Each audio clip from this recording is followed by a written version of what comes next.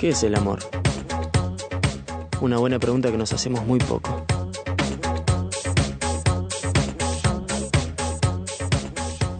Pero no vas a ir, no vas a ir, Lucas. Pero ya te dije que no soy más de Underground, estoy acá con ustedes. ¿Está? ¿Confías en mí? Sí que confío ¿Y en vos, entonces? Lucas, pero te conozco. Y sé muy bien que te va a saltar la térmica si ves algo ahí que no te gusta. Pero no Y no quiero que te saques. Y nos hablamos del tema, Lucas. Tiago, ya tenemos todo acá, ¿eh? Vayan saliendo.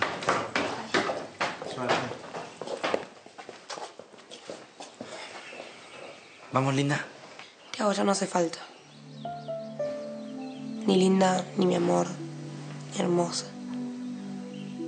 Ya no hace falta. No, pará, pará. ¿De, de qué estás hablando, Lina? La encontraste a Mar. Ya está. No. No, ya, ya está, no. No es así. Tiago, lo odiabas porque creías que te traicionó. Ahora que sabes que es una víctima, vas a descubrir que tu amor está ahí, como siempre.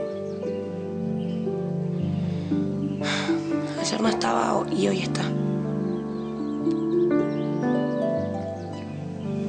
Está todo bien. El amor es algo volátil, hecho de aire como decían los griegos.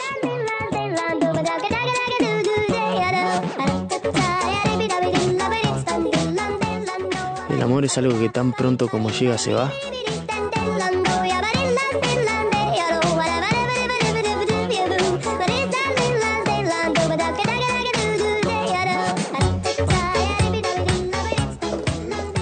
¿Qué haces, Ramo, mirándola así a Vale? ¿Qué pasa? ¿Tuviste algún recuerdo o algo?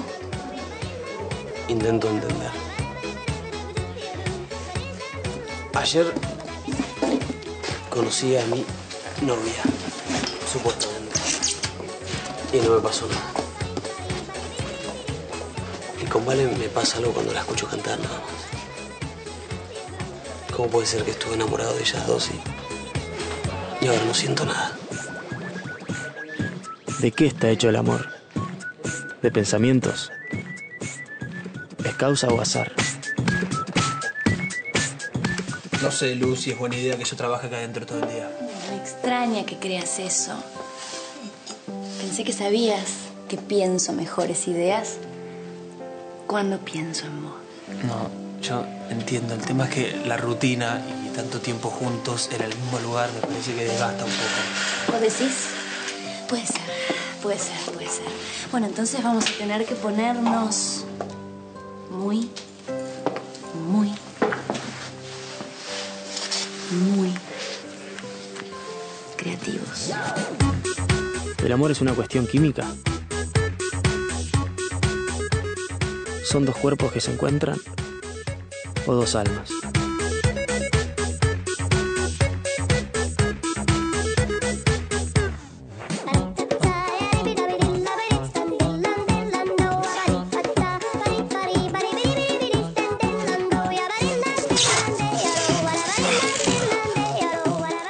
¿El amor es una bendición o una maldición?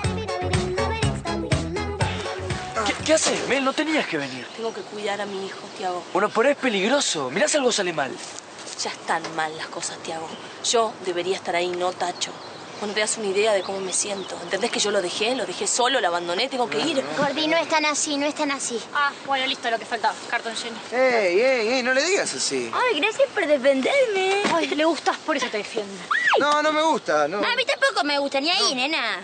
Eh, chicos, yo voy a acompañar a Melchu a buscar a su hijo y al padre, ¿ok? No, al padre no, al padre no. Sí, al padre también, Gordi. Ahora que sabemos que a Teo le lavaron el cerebro, vos vas a volver con él y Tacho va a volver con la gitana, ¿ok? No es tan sencillo, Tefi.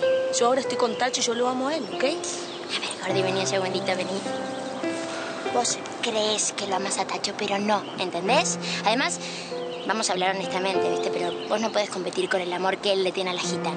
Y mismo él no puede competir con el amor que vos le tenés a Teo. Cállate, cállate. Vos no tenés ni idea de lo que es el amor, Tefi. Sos una pendeja tarada que no crees, así que cállate. Bueno, Melchu, para mí es la solución para todos, ¿eh? Además, vos tenés que estar contigo y Tacho tiene que estar con la gitana. Es así, es lo más conveniente. Cállate, cállate. ¿El amor es algo conveniente? ¿Es la unión de dos egoísmos?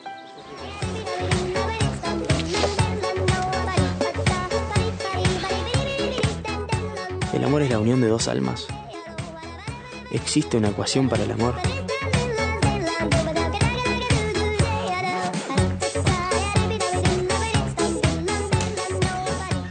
Si el amor es la unión de dos almas, y esas almas son inmortales, entonces, ¿el amor es inmortal?